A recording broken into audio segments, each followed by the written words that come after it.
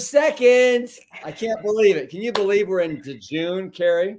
No, just last week we were talking about summer picnics and barbecues, and I, I just, it's, it is hard to believe how fast this year goes. The, uh, all of them, all of them just go so fast.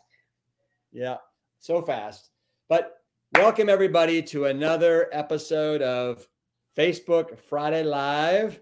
Appreciate you all being here.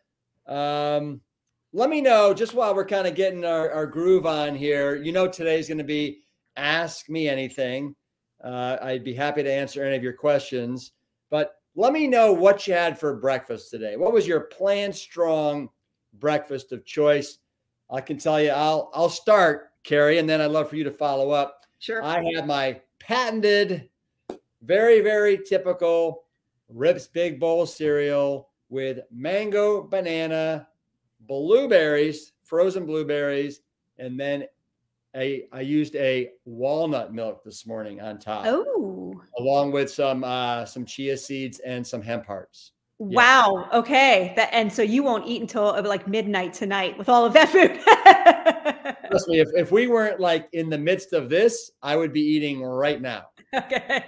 Uh, I went a little lighter today because tomorrow, as I've been telling you all week long, I'm actually running a full marathon tomorrow on the coast of Oregon. So my yeah, plant strong, baby. But but my my um regime really is sort of later in the week on on marathon week i try to cut back a little bit on some of the fiber foods because we know what fiber does it's all good i love it but you also don't want a lot of that you know with you on race morning. So today I, I actually did have just a little bowl of steel cut oats. Um, i normally do like you i normally put chia and flax in there but i i skipped that today. Um, i put a little bit of soy milk on there and a scoop of real uh, natural peanut butter and instead of the pb2 pure i went full on and half a banana so I skipped the blueberries, which I normally put on there as well. So I would just I went kind of simple today. All that right. was my breakfast. I like it. I like it. I like it.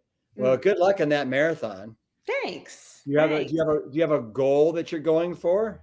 You know, it's uh I think so feasibly, I don't know if this means anything to anyone out there, but I think feasibly I could do like 3 hours and 40 minutes to to 345. Like that's that's in my wheelhouse. That's what I've been training for. Um to qualify for Boston, which as most of us know is like the granddaddy, you know, that's the Super Bowl of marathoning. I at my age now, I just turned 50, I have to run a 355. So, I think I can crush the 355 time. So my goal is a, is a little more aggressive than that, but I also don't want to bury myself. Yeah, yeah, yeah. Nicely. Nice. Well, way to put yourself out there, Carrie. Thanks. Way to show up, get out of your comfort zone and and do these things. We Thank you. we like that at Plant Strong a lot. Thank you. So we got we got some questions that have rolled in. Uh, why don't we just start like uh, with this from Dana? Uh, I work afternoons and my day does start later. My question is, at what times during the day should I eat my meals? I love your program. Have been doing it for several weeks, and I'm down ten pounds. Well, congrats on being down ten pounds. That's that's fantastic in a couple weeks, um, and um, and kind of typical.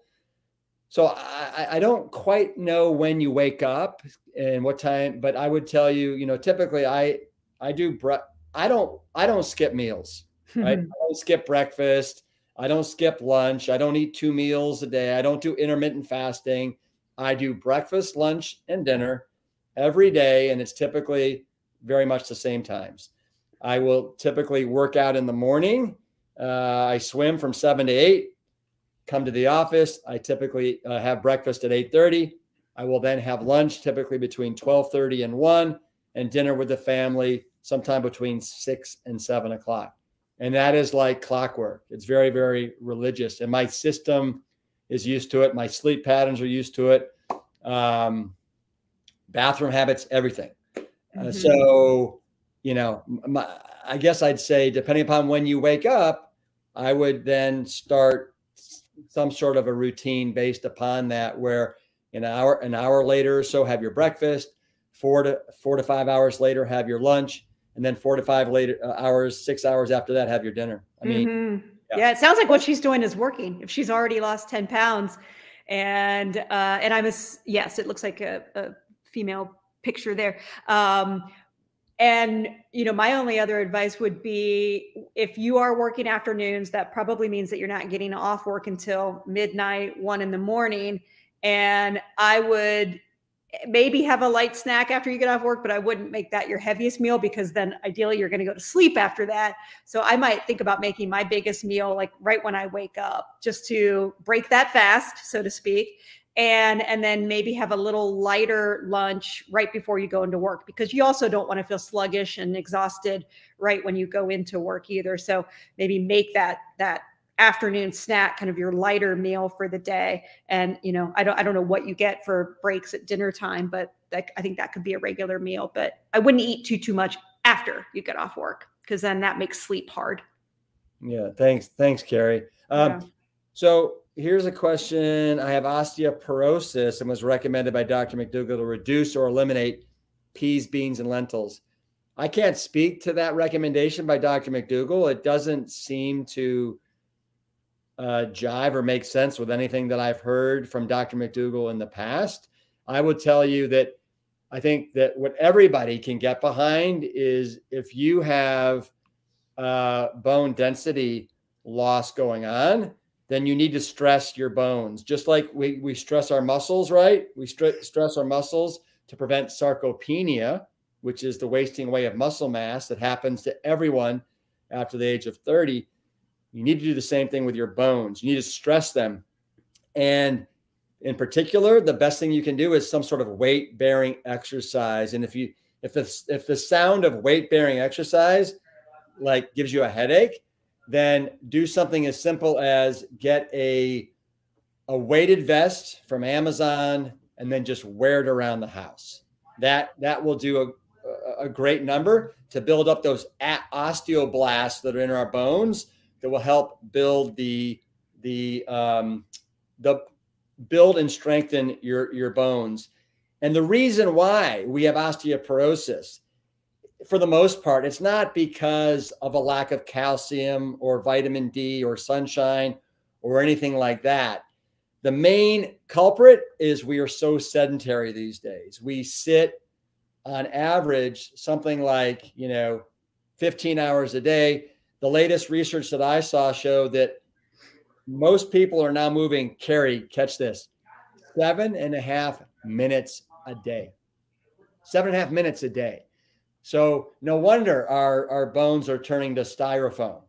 Mm-hmm. So so mm-hmm. uh, I don't think it's so much about eliminate eliminating beans, peas, or lentils. It's more about getting out, stress those bones, exercise, and ideally some sort of um, strength, um, weight bearing exercise is what we're really after. Yeah, and I actually do have one of those weight vests. I bought it from a company called Hyperwear, uh, but you can buy them. You know, you could you can buy them anywhere. But uh, Hyperwear is an Austin-based company, and mine is the 15 pound weight vest, and it's uh, I wouldn't necessarily recommend that for somebody who's just starting. They do have like a 10 pound weight vest as well, which is good, but it really forces, as I'm slouching over on my couch right now, it really forces you into a good posture position.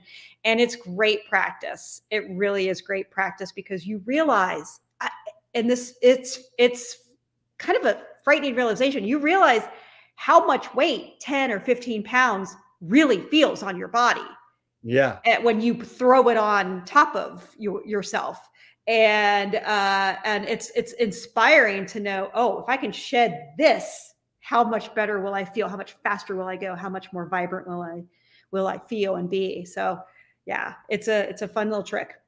So this from Carolyn, um, do you think I will get enough protein? Um, you know, Carolyn, I don't know if um, if you're being sarcastic here or if this is a, a truly a real question. I'm going to treat it as a real question. I think it was ref- in reference to her question before about what McDougall said about oh, what well, Dr. Well, well, yeah, I will tell you as long as you're eating enough whole plant-based calories every day, you will you will inherently be getting all the protein you need. And according to like the um, Institute of Medicine, the um, and, and other health organizations, we need roughly 10% of our calories coming from protein. And that is with a built-in safety margin of about 30%. And I can tell you, you just you cannot blow it. Uh, even if you're not eating beans, peas, and lentils, you still can't blow it because your average fruit is right around six and a half, seven percent protein. Your average green leafy is 35% protein. Your average whole intact grain is right around 14% protein. Oats are sitting around 18% protein. Uh, quinoa, right around 19, 20. Your average, um, your average vegetable is 25% protein. So I'll just come back to as long as you're getting enough calories, you're going to be getting all the protein you need. And what you're going to be getting that most people aren't getting is fiber. And we now know that 97% of Americans are deficient in fiber. And the best way for you to get fiber is from whole plant based foods. And when you eat this way, you're getting somewhere between 50 to probably 80 grams of fiber a day. You're knocking it out of the park. Yep. And uh, for those of you that listen to podcasts and enjoy podcasts, just yesterday, we released oh, yeah. the episode on plant powered protein with Vesanto Melina and Cory Davis, who are two of the three authors of the most of the recent book, Plant Powered Protein. And, you know, I really like, Rip, how you challenged those authors you challenged them on some of the you know some of the data in their book and and really wanted to understand why plant-based protein is superior to animal-based protein why are these myths so persistent that it's weaker or incomplete? And you know even some of their recommendations and her recommendations you know you you had some some questions about that. So it's a really informative episode. And so if you are into the podcasts which i hope you are because that keeps me employed uh, i highly recommend you follow the plant strong podcast. And i'm going to do a quick plug on how to do that if i could rip. Go for it. Go for yeah. it. Yeah. So if you guys have uh for those of you that have this is an apple phone. This is a you know an iphone. But if you're not familiar, um, you know, every iPhone has this button, this purple button, and that's your native podcast button. It's on every iPhone. So when you click that, you can just do a search for Plant Strong. And we just recently changed the color to blue, which is yeah. really, which is really cool. But to follow it, you see up there, there's a check mark. If you hit that check mark, so right now it'll like I have it checked because I follow the show it'll say follow or unfollow. Follow the show because then that means every Thursday when a new episode drops, it just lands right on your phone. You don't have to search it, you don't have to think about it. So that is my commercial for how to follow the Plant Strong podcast on Apple Podcasts. Very similar on Spotify for people that listen to Spotify. Thank you, Carrie. Mm-hmm. Um, so I, am just going to say that. So we got people, a lot of people are commenting, ask Rip about avoiding those foods, right? Carolyn wants to know, I really need to look into this. I eat lentils almost every day. Eek.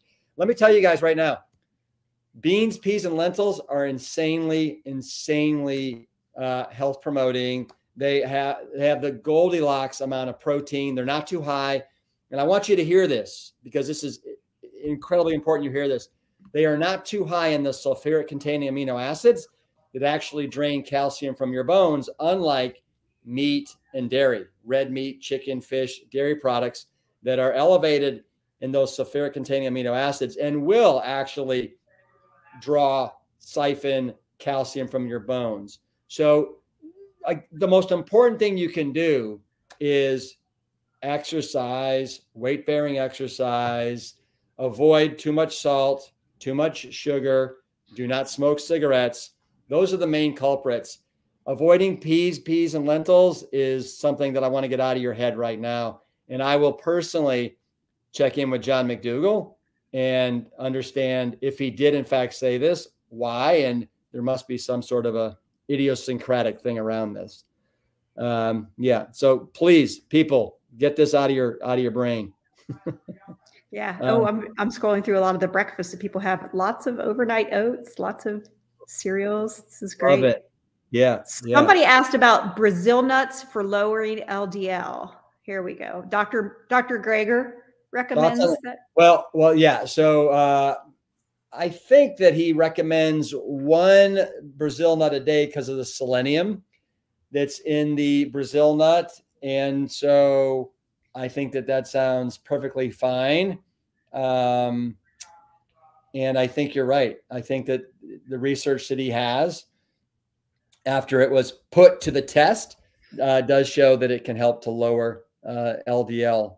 And uh, and my my very you know non medical thought on this too is just realizing that one one food you know one nut is probably not the panacea you know like it's i feel like having one brazil nut a week in conjunction with a lot of the other cholesterol lowering foods that we consume are going to to help so um, that would be, just be my thought process about it and this is coming from somebody who you know went plant strong because i had high ldls well, Carrie, you make a very, very good point here. Let's keep in mind that like eating whatever you want and having a having a Brazil nut, right, once a day or a couple times a month is not going to be the cure. The the the true um, the true panacea here is going to be what is the totality of how you're eating day in and day out. That is the most important thing, and that's when you get the results that we're all looking for. Um, I'm looking for, here's a question. Uh, what's this one?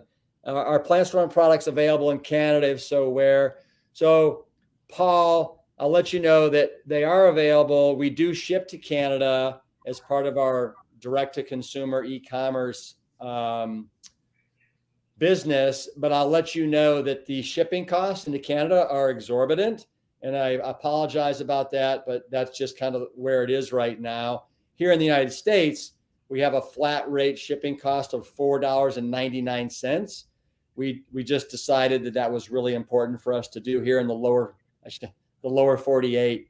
Um, because before that it was like $17.99 and that just was hmm, that was intolerable on a lot of different levels so we decided to eat a fair amount of our profit to lower that those shipping costs but in canada it's we ship there, but you're just going to have to pay more than anyone wants. And I apologize about that.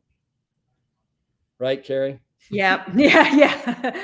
yes. And I was thrilled myself to see the, at least here in the United States, the, the flat shipping rate. It, it is a game changer. It really is. Mm-hmm. And it's still, I, I would also, Paul, I would also venture to say that what you pay in shipping um, for plant strong foods is still a lot lower than what you would pay at fast food restaurants or any kind of restaurant. Um, and you know, if you consume alcohol, like that's the stuff that's so expensive when you eat out is the alcohol, the junk, all of that stuff. So I'd much rather pay that in shipping. This is a question from Candleflower 42. What a fun name. Um, Rip, would you consider a discussion debate with Peter Attia I respect you both so much, but he eats meat and being near 70 and not able to exercise much, he's got me concerned about sarcopenia. Well, we've already talked about sarcopenia. And the, you know, the best way to do that is you do. You gotta, you gotta exercise, you gotta uh you you gotta impact, right? You're put some sort of impact and strain on your muscles. It's funny because I've had at least five people mention Peter's name uh, here in town in the last just week. I hear he moved to Austin recently. So I think a great thing to be would be just to have him on the podcast. Mm-hmm. Invite him as a mm-hmm. guest to be on the podcast. And um, I hear he's got a great book that he recently came out with. So and it's you. interesting because Peter Attia for and and I like he even his mindset has shifted in the last several years because there was a time uh, that you know he was Mr. Keto guy, and he's not so much anymore. Uh, I, I do know he does. Uh, he's not plant plant based exclusively, but he um, he's really sort of changed his tune on a lot of things uh, for the better, in our opinion, about yeah. quality of life and longevity. And that's the name of his new book. It's called Outlive. Yeah, uh, this is from Bourbon Sour. What another great name, right? Uh, hey, Rip, I've been playing strong for 18 months because of you. I'm down 80 pounds yes. in a reverse type 2 diet, type 2 diabetes, and feel awesome. What are your tips to lose the last 15 to 20 pounds? I walk every day and work out six times per week. Thanks, Rick. So, Rick, this is very, very common when we, um, you know, we'll get down 30, 40, 50, 60, 70, 80, 100 pounds, and then we kind of plateau. And what you have to do is you have to evaluate basically your plate and what percentage of your plate is coming from the more calorie dense whole plant-based foods and how much are coming from the veggies, the greens, and you need to and the starchy veggies, and you need you need to make a bit of a shift. So instead of let's say it being 50% of the let's just say rice, beans, breads, pastas, you want that to be maybe 35%, 30%, and have the other 70% be the vegetables, the fruits, um, the less calorie dense um, plant based foods. I highly recommend that you read chapter five of the Engine 2 seven day rescue diet twice because I go great detail into calorie density. And if you hit plateaus, what you got to do to like break right on through it. But know that you're like, can't even Carrie and I can't even explain how proud we are of what you've done here in the last 18 months, down 80 pounds. It's huge. Yeah, I think another addition that I would add to that is something that we've already talked about today, and that might be if you're not already, add some resistance training. Um, it will help you lose body fat. Now you will gain muscle. So if your primary concern is a number on a scale, uh, I would encourage you to shift that focus from what that number says to the composition of your body. And so you can lean out um, by doing some resistance training and some weightlifting and some um, high intensity interval training as well. Thanks, Carrie. Uh, Addie, my husband is so sick of me wanting him to eat healthier, or at the very least, less meat and more plants. How can I inspire him, or should I stop trying? I'm desperate as his health is bad and he's 44 years old. Well, Addie, you know, welcome to the club. I think we all have people in our lives that we would love to get to eat healthier and to embrace this lifestyle because we know what it could do for them and their declining health. I've seen it with people that are very close to me. And you think with kind of the background and the pedigree that I have with, you know, my father and, you know, the books that I've written and what I've been able to do for literally thousands and thousands and thousands of people. But you you know the old saying you can lead a horse to water but you can't make him drink. And you know carrie's got the same story with some of her family members. I would tell you the best thing that you can do addie is just be the best example that you can. Stay true to yourself find your north star and do it. And you're, you're either your husband will come around or he won't and I just think at some point, you know, he is just going to keep resisting you as long as you keep trying. So I would take more of a backseat approach, take a front seat approach to your own like diligence with eating whole food plant based, but don't nag, don't belittle, don't, you know, don't do any of those things. That's not going to get you where you want to be. Mm-mm. And that is the exact story, Addie, of my husband and I. Uh, uh, I went full kale first uh, in 2009, and I, for me, like there was no turning back. And but I never, ever, ever pressured my husband to to do any of it. I mean, with there he fortunately he was a decent eater. His mom taught him well but he was certainly a seafood eater a meat eater. Um, and he just gradually by default just started to eat what i was eating. And he has been exclusively whole food plant-based now for about six or seven years. And it literally was just me living my life and and living the path that was working for me. And i think that just that just showed. Yeah. Perfect carrie way to go um you know this is just a comment from a, alicia for what it's worth i'm 61 years old whole food plant-based since 2003 and no issues with muscle or strength loss um you know way to go uh, alicia um yeah and then you know this keep keep being a good example. That's all you can do. Couldn't agree with you more. Uh, this question from Megan Rip, where do you get your t-shirts? The kale one, the one you have on now. I want to get some for my dad who has been following your dad's diet for a month and is down 15 pounds.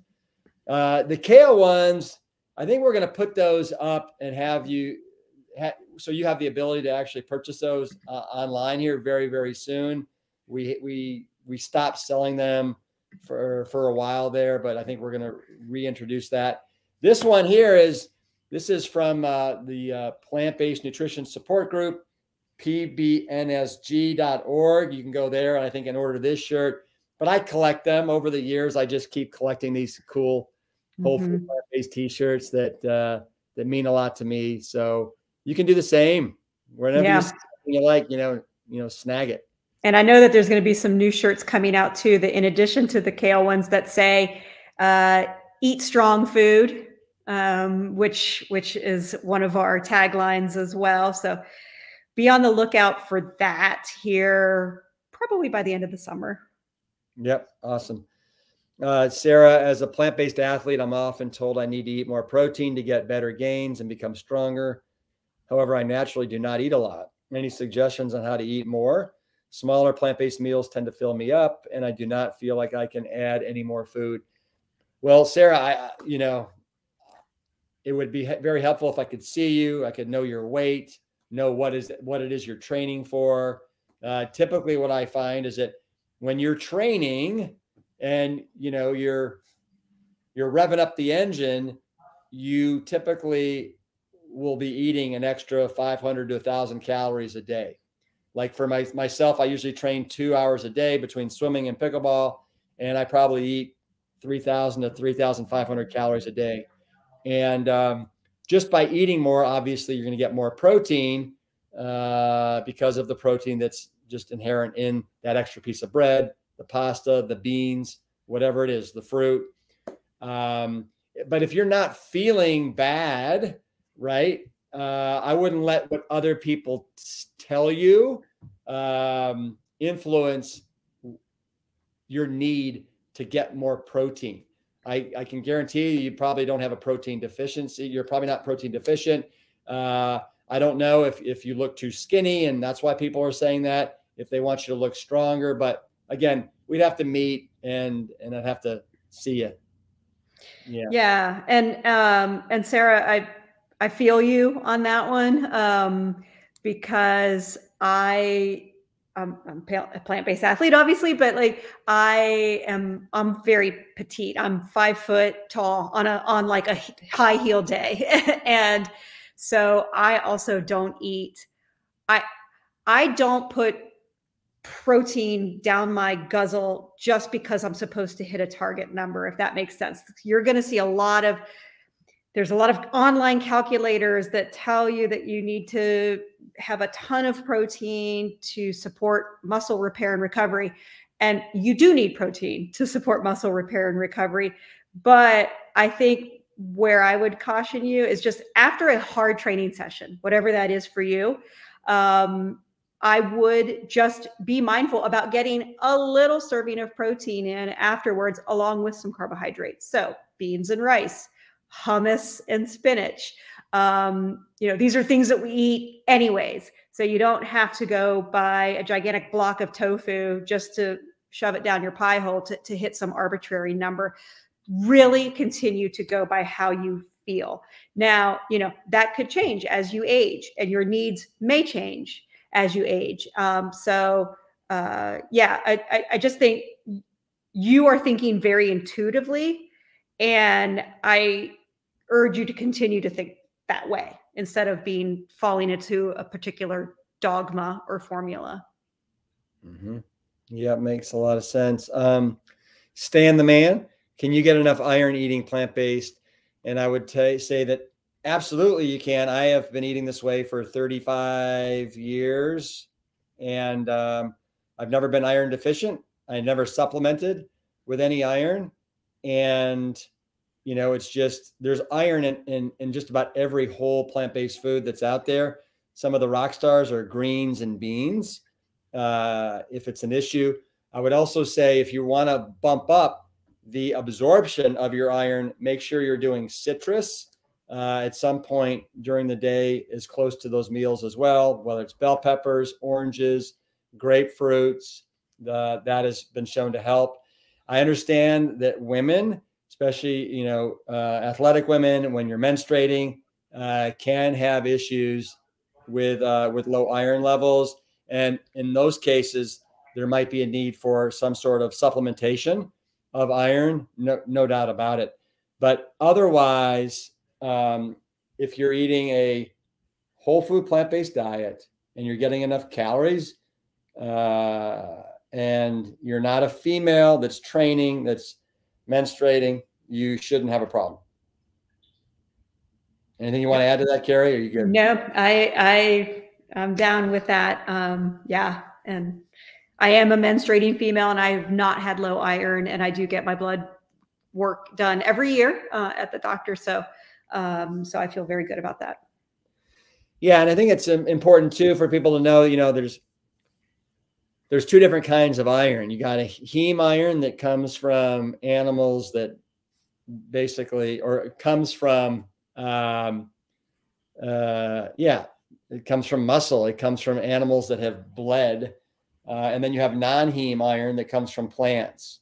And uh, and the cool thing about the plant-based iron is it's actually this really intelligent iron that if your body has too much iron in it, non-heme iron, it actually can dump it. it. It has this natural mechanism where it can actually dump. However, with when you're getting predominantly heme iron from animals, your body can actually build it up and it can't release it. And that's why there's certain people that have hemochromatosis where you actually have to go in every couple months and actually have your blood drawn uh, because your iron levels get too high. So again, it's just it's one of these things that to me, it's why everything about whole food plant-based nutrition is so superior to the animal-based version, whether it's iron, whether it's protein, uh, whether it's all the things that plant-based products don't have like the saturated fat, like the dietary cholesterol, the heter- heterocyclic amines, um, you know, the TMAO, trimethylamine oxide, that you're going to get in all these animal products that actually uh, promote plaque buildup in our arteries. The list is wide and very robust. Uh, yeah. Yep. Uh, Brian, I've got high triglycerides. What would be a good regimen to reduce that number?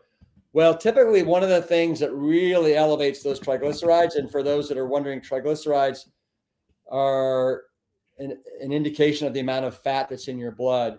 And the biggest culprit is too many refined sweets. And the, at the top of that list is alcohol.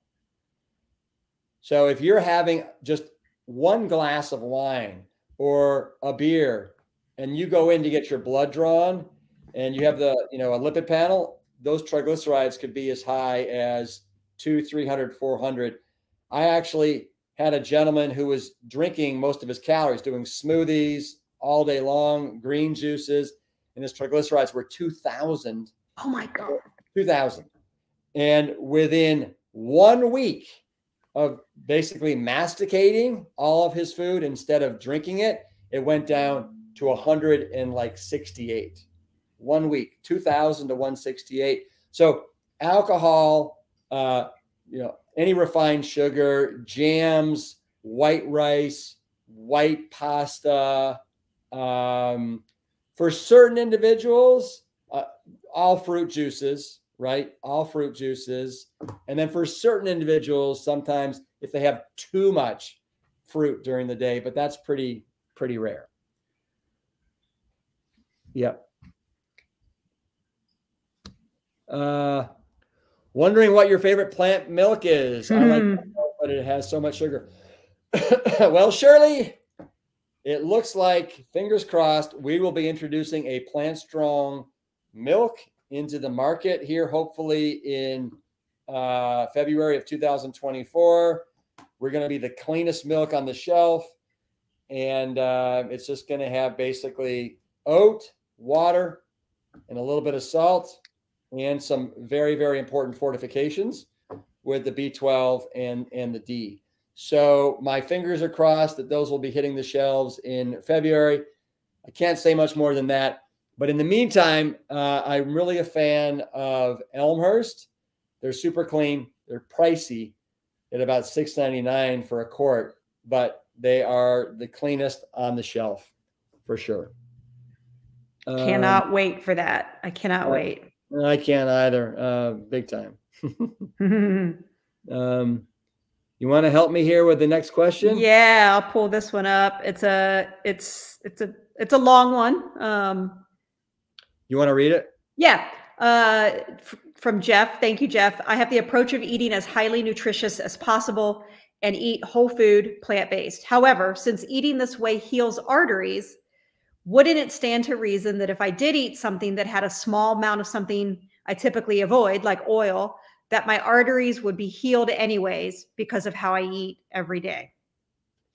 Well, that's a great, great question, Jeff. And I will tell you this, and I know this just from my father's um, research and from his experience with what we we called the Walking Dead.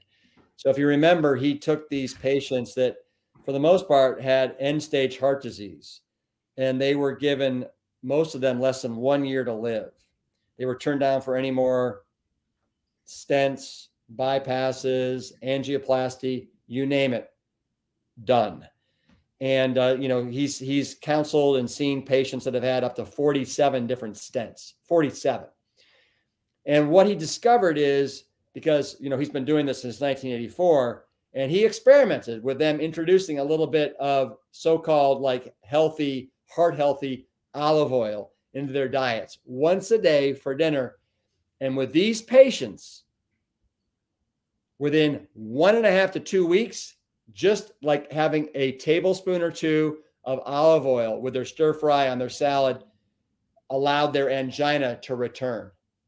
So it's amazing how, if you've got heart disease, there's these little spot fires that will exist in you for a long, long time.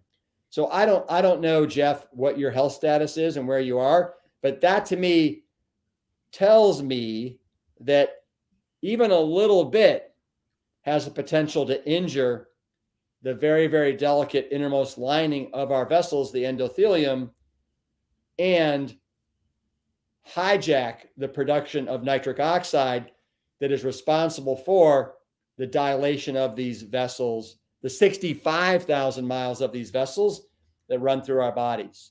So I had no idea we had 65,000 miles of vessels in our body. 65,000 miles of vessels. Now, uh, you know this, Carrie. I got a hard stop in yep. about two minutes. So maybe we can take one more question. But okay. I've, I've enjoyed this so much with you, Carrie, and all these great questions. I think we should maybe do these maybe once every two months. Yeah. Oh, without question. Yeah, we did. We did a sort of ask me anything back in April, and uh, we could go for for hours for sure. I'm I'm just oh. sort of scrolling through uh, some of these questions. Um, well, you know, let me just do this one because Lou's okay. like, you know, I know there's a lot of talk about GMOs. Um, I will tell you this: I think the most important thing that you do is are you eating whole food plant based. And uh, you know, we could arm wrestle all day long about uh, you know GMOs, organic, conventional, and I'll tell you that I eat conventional all the time.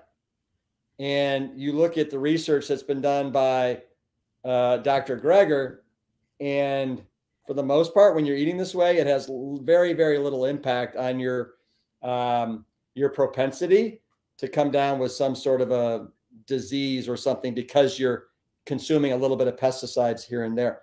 The GMOs, you know, Carrie, uh, it's funny. I, you know, I've heard that almost everything we have is in some way, shape, or form uh, uh, uh, uh has been a gen genetically modified organism, right?